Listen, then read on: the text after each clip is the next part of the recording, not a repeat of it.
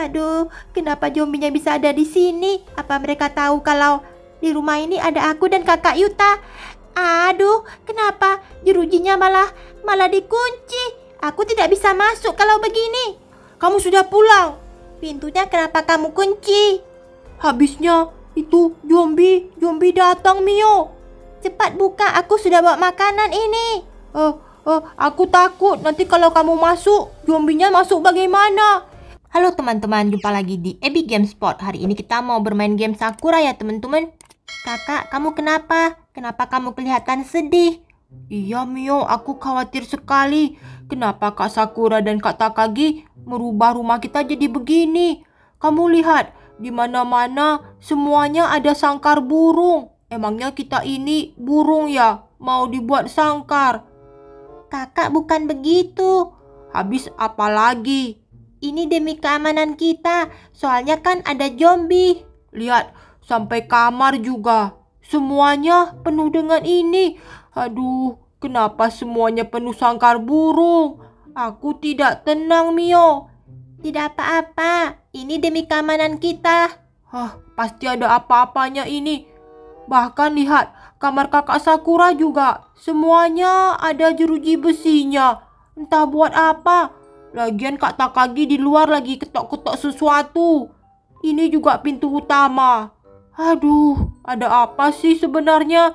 Kak Takagi, kalian sebenarnya mau ngapain? Oh Yuta, kamu tenang saja. Kakak lagi buatin ini pagar besinya. Buat apa sebenarnya Kak Takagi? Ini demi keamanan kalian. Soalnya kan kakak Sakura dan aku akan bertugas. Kami tidak tenang. Oh, ternyata kakak Sakura mau pergi ya? Apakah perginya lama? Mungkin beberapa hari Yuta. Tapi kenapa pagar itu terus diketuk-ketuk? Ini biar kuat. Aku takutnya nanti kalau kami tidak ada di rumah, zombie datang bagaimana? Hah, kan Mio? Tidak apa-apa kakak, kamu tidak perlu khawatir begitu. Ah, aku mau cari kakak Sakura. Ternyata dia mau pergi bertugas ya. Dia mau tinggalin kita. Aduh, kakak Sakura di mana? Dari tadi tidak kelihatan. Dengan begini aku sudah sedikit tenang. Setidaknya semua kaca di rumah sudah aku berikan pagar besi. Yang di dapur juga.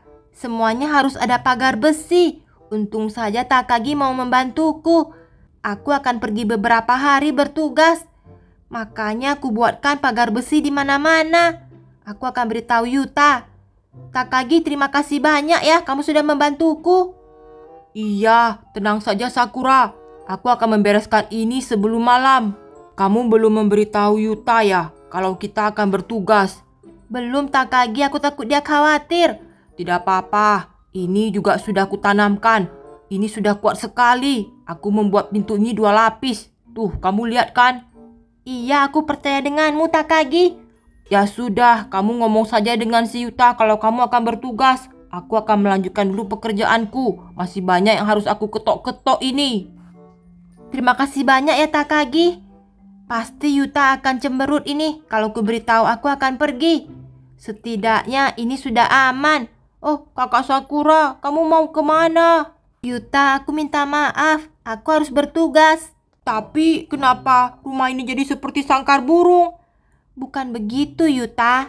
Kamu dengarkan baik-baik. Kita buat seperti ini biar aman. Takutnya nanti kalau zombie masuk bagaimana? Lihat, si Mio saja tenang. Iya. Nah, kamu harus kuat dan tegar. Kamu kan anak laki-laki.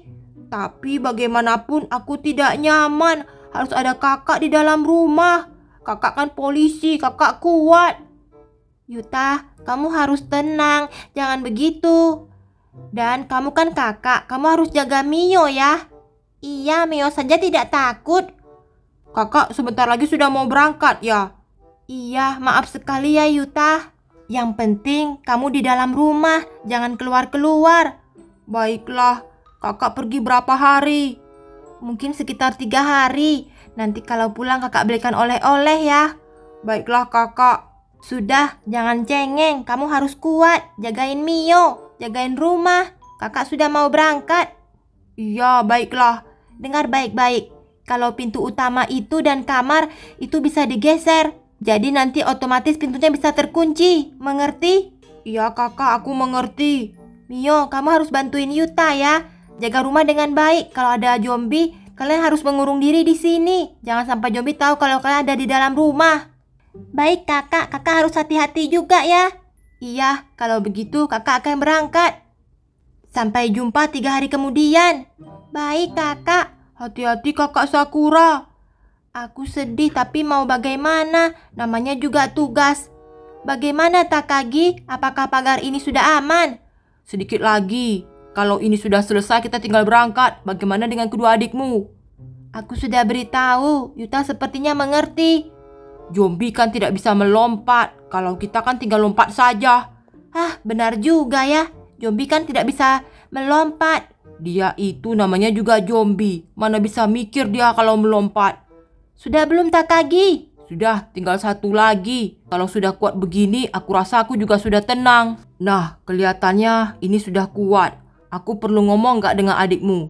Tidak usah Takagi. Nanti semakin banyak kamu bicara, dia nanti tambah sedih. Kalau begitu, ayo kita berangkat.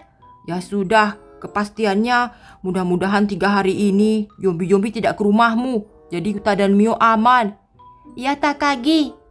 Kalau begitu Sakura, Ayo kita berangkat, soalnya kita masih melakukan tugas kita yang lain. Melindungi rumah dan juga penduduk kota Sakura dari zombie. Baiklah Takagi. Mio, kakak Sakura sudah pergi, bagaimana ini? Kan tadi sudah dinasihatkan, kamu harus tegar, kenapa cengeng sih? Oh, ya sudah, ini katanya pintunya bisa digeser. Berarti kalau kita di dalam, ini tidak usah digeser dulu. Kalau zombie sudah datang, harus digeser ke sebelah kiri biar ini tidak terbuka. Oh, aku sedikit mengerti. Iya kakak, aku juga mengerti cara menyetel pintu ini. Tapi kita nanti siang mau makan apa? Oh iya ya. Aku akan coba lihat stok dulu. Ya ampun, lupa. Kenapa emangnya Mio? Sama sekali tidak ada makanan. Iya, dari kemarin aku lupa beritahu kakak Sakura. Soalnya dia sibuk terus membuat ini jeruji besinya. Kalau begitu kita nanti siang makan malam dan besok-besoknya mau makan apa? Eh, uh, begini saja. Kalau kamu takut, biar aku saja yang pergi ke Yumat. Kamu jagain rumah ya. Kamu kamu berani keluar, nanti zombie bagaimana? Tidak apa-apa. Soalnya tidak ada makanan. Kalau tidak makan nanti bagaimana? Kita juga bisa kelaparan kan? Oh iya, kalau begitu kamu saja pergi cari makanan ya. Aku aku di rumah saja. Ya sudah, aku akan segera pergi dan cepat-cepat pulang sebelum malam. Takutnya nanti kalau malam zombie bisa cepat keluar ini. Kakak Yuta itu kenapa penakut sekali? Jadi kakak, tapi malah aku yang melindunginya. Ini tidak bisa dibuka. Semua pintu tidak bisa dibuka. Jadi Kak Sakura dan Kak Takagi keluarnya gimana? Hmm, mungkin mereka melompati pagar. Kalau pagar serendah ini aku bisa melompat. Aku akan segera pergi ke Yumat mengambil makanan, kemudian kembali lagi ke rumah secepat mungkin sebelum gelap. Sudah sampai di Yumat. Ya ampun, tokonya tidak ada yang menjaga. Pasti sudah ditinggalkan sama kakak mami. Tapi kenapa berserakan begini? Sebaiknya aku segera pilih makanan yang bisa bertahan beberapa hari. Hmm, aku pilih-pilih dulu sebelum gelap. Wah, di sini ada nasi. Hah, sampai jatuh. Aku perlu bawa nasi bento ini, tinggal dipanaskan. Kalau begitu, aku cari dulu kantong plastik biar bisa menampung semua makanan ini. Di mana kantong plastik ya? Kak Mami letaknya di mana? Mungkin di bawah mesin kasir ini ada plastiknya. Wah, dapat keranjang yang besar. Sebaiknya semua makanan ini kutampung saja. Cepat dipilih dan cepat pulang.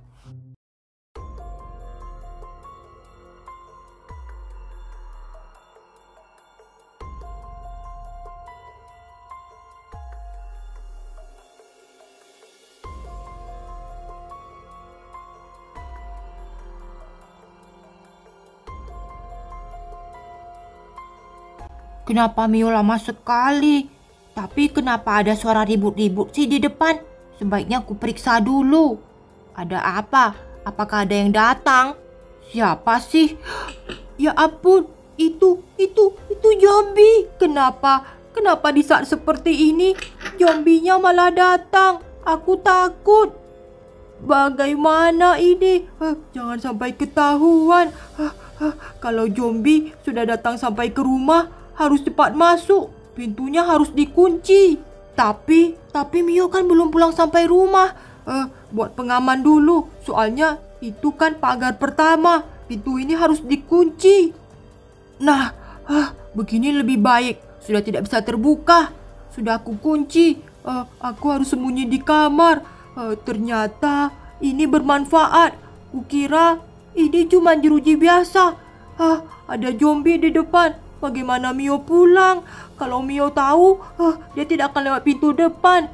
Dia harus lewat pintu belakang ini. Bagaimana cara memberitahu Mio? Mio masih di supermarket mencari makanan. Aduh, bagaimana ini? Aku takut sekali sampai rasanya sakit perut. Baiklah, kelihatannya makanannya sudah cukup ini. Aku harus segera pulang. Kalau tidak nanti pasti kakak Yuta ketakutan. Eh, sebelum gelap harus pulang ke rumah. Baiklah, sedikit lagi sudah sampai rumah. Untung saja supermarketnya dekat. Aku akan segera panaskan nasi bentonya. Kemudian, ya ampun, itu itu kan zombie.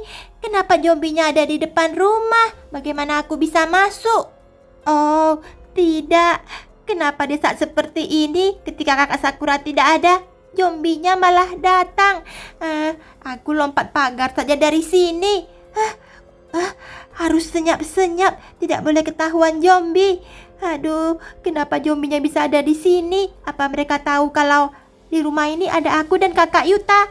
Aduh, kenapa jerujinya malah malah dikunci? Aku tidak bisa masuk kalau begini. Kakak Yuta ini gimana sih? Kenapa dia kunci? Aku kelak belakang saja sebelum zombinya tahu. Kakak Yuta ini kenapa malah mengunci pintu depan? Aku tidak bisa masuk. Kakak, kakak Yuta, bukain pintu.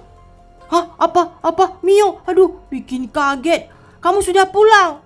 Pintunya kenapa kamu kunci? Habisnya itu zombie, zombie datang Mio. Cepat buka, aku sudah bawa makanan ini. Eh, uh, uh, aku takut nanti kalau kamu masuk, zombinya masuk bagaimana? Makanya cepat sebelum zombinya masuk. Kamu bukakan dulu. Ah, ya, kamu cepat ke pintu depan. Ah, aduh, aduh, baiklah, aku akan geser dulu supaya pintunya bisa terbuka. Kakak Yuta ini penakutnya minta ampun. Sampai pintu depan langsung dikunci. Aku kan belum pulang. Aduh, kalau sampai ketahuan zombinya, dia bakalan segera menerobos masuk. Cepat Mio, aku sudah buka. Iya, iya, aku segera masuk. Hah, Aku kunci lagi. Iya, cepetan dikunci. Sudah belum kakak? Sudah, sudah. Kalau begitu jangan di depan pintu. Ayo kita kabur. Aduh, zombinya malah ada di depan. Kakak Sakura tidak ada. Sebaiknya aku tutup saja ini biar tidak ketahuan. Hah, aduh, tutup semua gorden kakak biar zombinya tidak tahu kalau di rumah ini ada orang.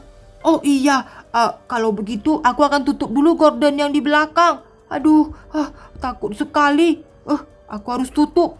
Wah, gordennya macet, Mio. Uh, aduh, aku benar-benar ketakutan. Aku mau sembunyi saja di sini, aku takut. Nah, teman-teman, apa yang terjadi dengan aku dan kakak Yuta? Ikuti di episode berikutnya, teman-teman. Kita akan upload besok. Iya, kalian harus ikuti. Part 2-nya lebih seru. Jangan lupa ya teman-teman, kalian harus terus ikuti. Terima kasih telah menonton Abby Gamespot. See you next time and bye-bye guys. Tapi kira-kira Mio, bagaimana dengan zombinya? Ah, kakak jangan bilang zombie lagi. Kita lihat saja besok bagaimana. Oh iya, iya deh.